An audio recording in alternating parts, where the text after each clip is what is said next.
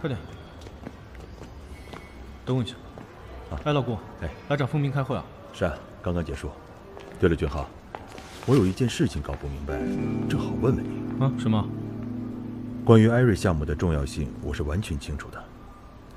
但是在收购智能思维这件事情上，风平小姐给出的决定，依然让我有点不解。啊？什么决定？她坚持要给安月生一个合理的报价，可是现在我们明明有可以压低报价的机会，这点未来恐怕难以向董事会解释啊。老顾，嗯，这个事情就按他的想法去做。他如果坚持这样做，自然有他的道理。行，老板怎么说，我怎么做吧。嗯，嗯，拜拜。走啊，快走啊！去哪儿啊？别管，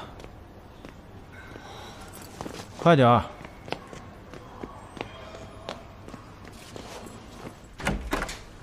进来。你，你带我来这儿干嘛呀？你觉得呢？昨天我是临时有事儿，所以才把你车开走了。那我做的不对，我在这儿给你道个歉，对不起。只有这一件事情做的不对吗？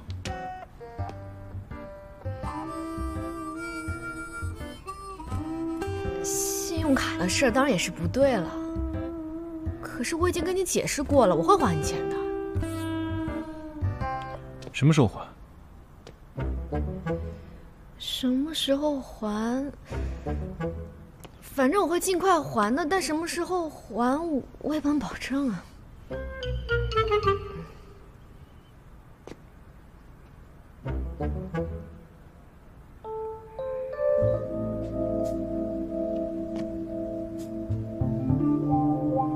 你干嘛呀？我告诉你啊，你不要对我打什么歪主意，我是个正经人。我也是个正经人，好不好？你也不要打什么歪主意啊！切，呸！你先告诉我，你有正经的工作吗？你怎么说话呢？你有正经的工作吗？我当然有啊！我不是那个意思，我是说，你有正常的工作吗？正常上下班的那种。哦，没有。那就是没有稳定收入喽。啊，那你站在我的角度想一想，我怎么才会相信一个完全不知根底，先是偷刷我的信用卡，然后偷开走我的车，而且没有稳定收入的人会还我钱？那你说你到底想要怎么样啊？我可以给你提供一份工作，但你每个月的工资拿出一半还给我，还清为止。工作？什么工作呀？我家开酒店的，当然是酒店里面的工作。我再跟你强调一次。我是一个正经人，你不要对我动什么歪主意，否则我的拳头不会饶过你的。我家酒店也是正规经营的，好吗？你在想些什么啊？那那那个，你你要我干什么吧？你会什么？我会什么？赛车呀。酒店里面不需要赛车手。听说你是个网络技术高手，对吧？就是俗称的黑客。我听不懂你在说什么。那两段视频是你删的吧？我不知道你说什么呢。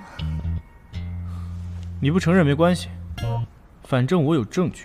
你怎么可能有证据呢？我删那两段视频的时候，我还……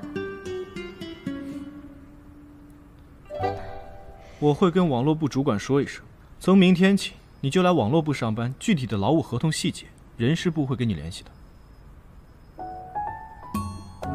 从今天起，我就是你的老板加债主。嗯。明天早上九点上班，上下班都要打卡，别迟到了，会扣工资的。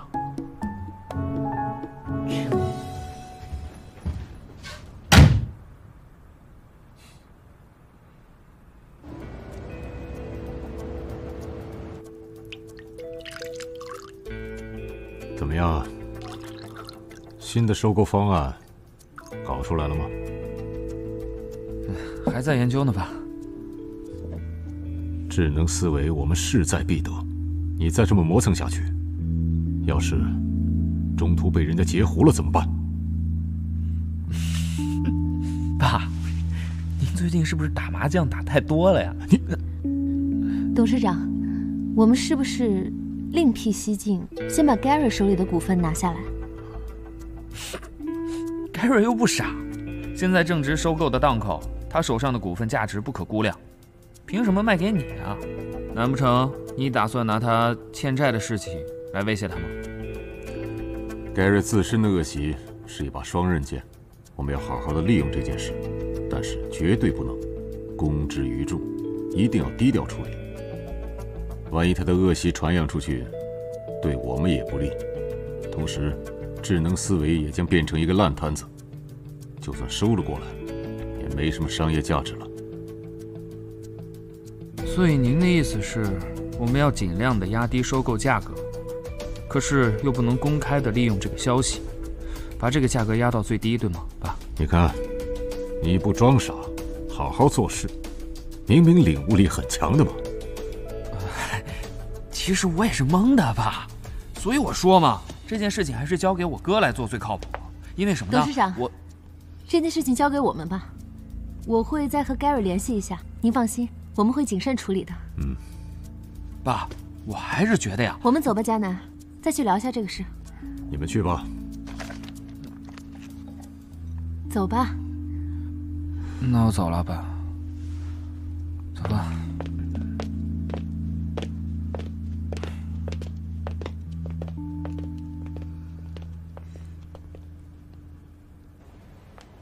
迦南，董事长明明都看出来了，你看问题很敏锐，你为什么还装糊涂，不停推脱呢？这是很难得的机会，你不要辜负了董事长的信任。哎，对了，嗯，你是怎么知道那个 Gary 赌博的事情的？我做背景调查的时候查到的。哦，你还蛮用心的。这是你的项目，我肯定要全力以赴的。那你有把握说服这个 Gary 吗？是人就有弱点，既然他的弱点在我手里，就肯定能找到突破点。陆乔，嗯，我真的要对你另眼相看了。你跟以前那个你完全不一样了。哪里呀、我还不是为了我们的项目，这是你接的第一个项目，无论如何，我都要帮你搞定。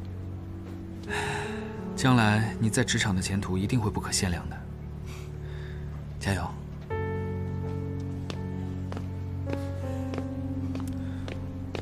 我的目标可不只有职场，还有你。志峰，这次一定要加油啊！